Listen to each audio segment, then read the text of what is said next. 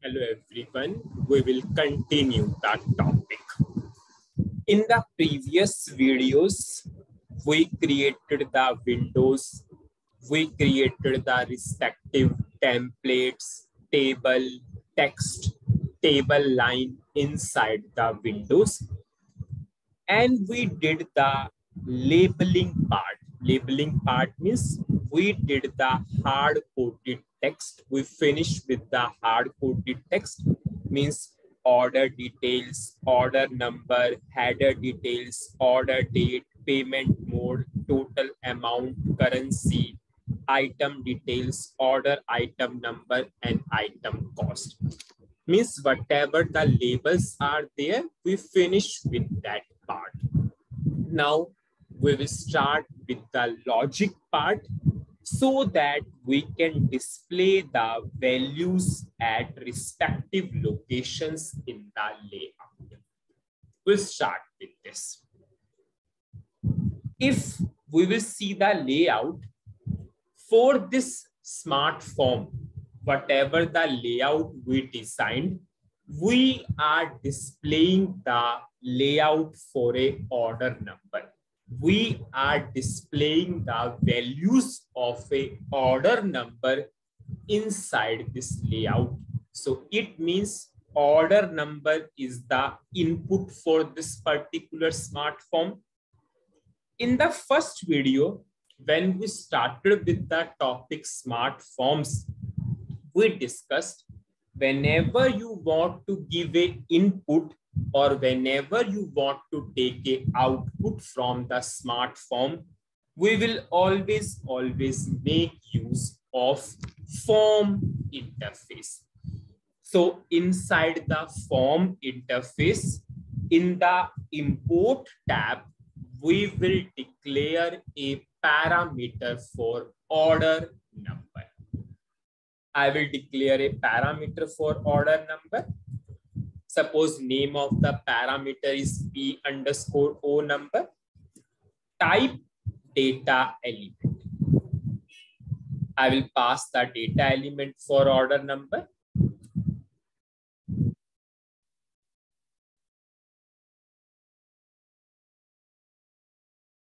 Now we will start with the logic part. Means we will fetch data from order header table. We will fetch data from order item table and we will display at respective location. I will go to global definition. So what we are doing in every program also, we are firstly creating the structures. So in smart forms, if we want to declare structures, if we want to declare user defined types, we will make use of these types tab. So I will firstly declare a structure of order header table. Then I will declare a structure of order item table. Types. Begin of, suppose my first structure is LTY underscore data. Now in the layout, in the output, we have five columns from order header table. One, two, three, four, five.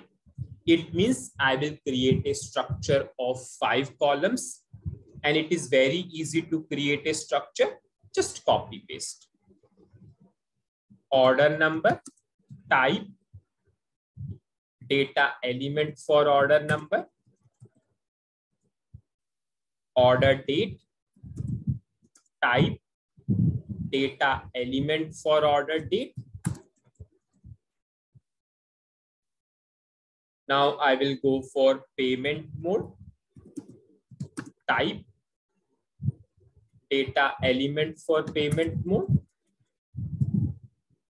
total amount, type, data element for total amount, now I will go for fifth column that is currency. I will end this particular structure.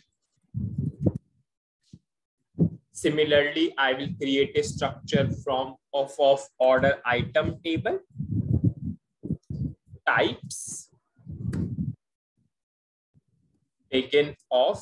Suppose my second structure name is LTY underscore data one. I will open the order item table now and copy paste from there.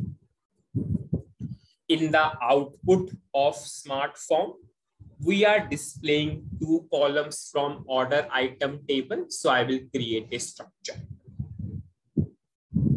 I will firstly take order number because that is common column. Type data element for order number. Order item number. Type data element for order item number then item cost. Type data element of item cost. End of my second structure. After that, what you are doing in every program, you are declaring the internal table and work areas and if I want to declare internal table, work areas, variables, I will go for global data tab. I will declare first internal table, LT underscore data, suppose, type table of. What is my first structure? LTY underscore data.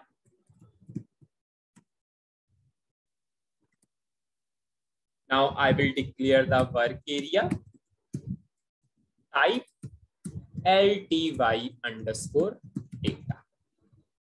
Similar way, I will declare the internal table and work areas for our item table. One, one, one. Same thing you are doing in program, but in the program, you are writing the logic in continuous manner here we have dedicated tab. Now we will write the logic and we will write the logic in the initialization tab. I will start with the logic part. Select. Order number, order date, payment mode, total amount currency. From which table? Order header table firstly we are fetching data from order header table. We will store into internal table. What is our first internal table? Lt underscore data. Where? What is the where condition? What is the input for this smart form input is order number. And where you gave the input in the form interface import tab because import means input. So this is your input. I'll simply, simply pass here. Now we will fetch data from foreign key table or secondary table or dependent table, or you can say our item table.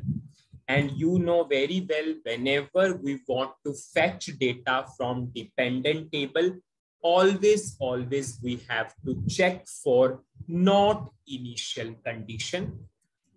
If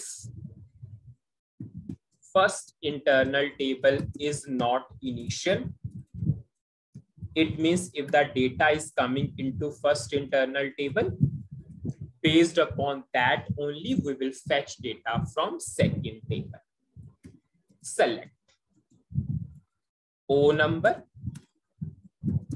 order item number, item cost, from which table now I am fetching? Order item table. Order item table and I will store into internal table. Suppose my now my second internal table is LT data one. for all entries in our first internal table where order number is equal to first internal table order number. It means first internal table order number will act as the input to fetch data from item table. Now we will see our first query.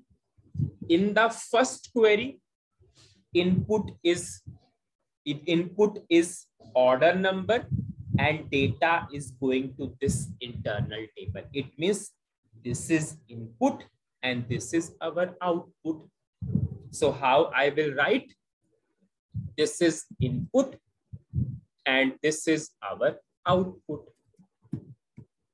Now for the second query, this internal table order number is acting as a input and the output is going to this internal table. It means this is our output internal table.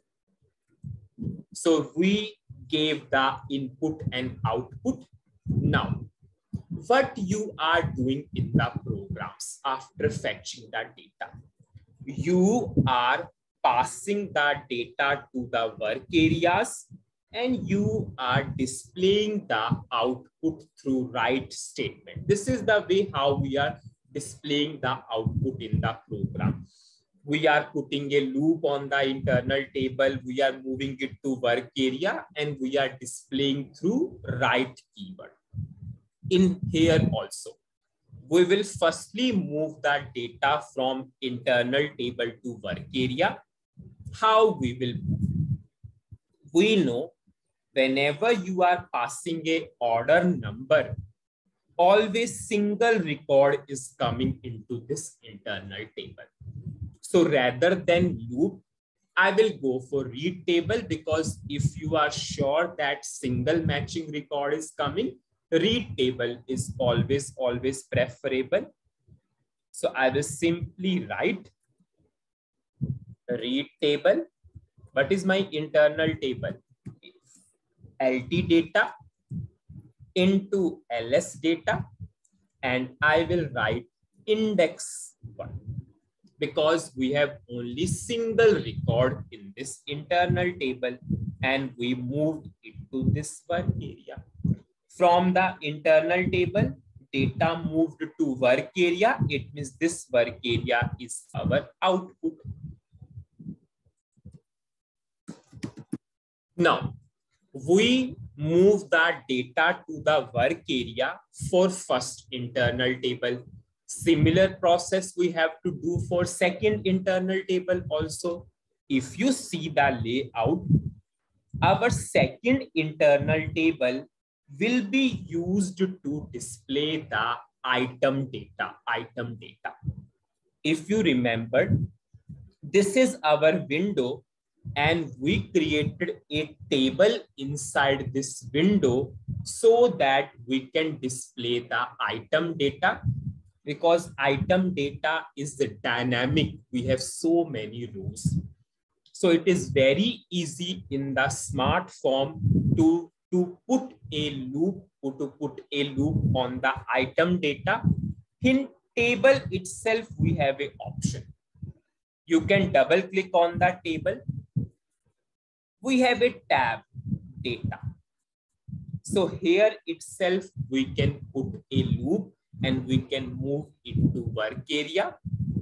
What is your internal table in which you have the item data? It is LT underscore data one and you are moving it to work area ls data one. Now from the internal table, we move the data to the work area. So now our next target is we will display the header and item data at the respective locations. This part we will continue in the next video. Thank you.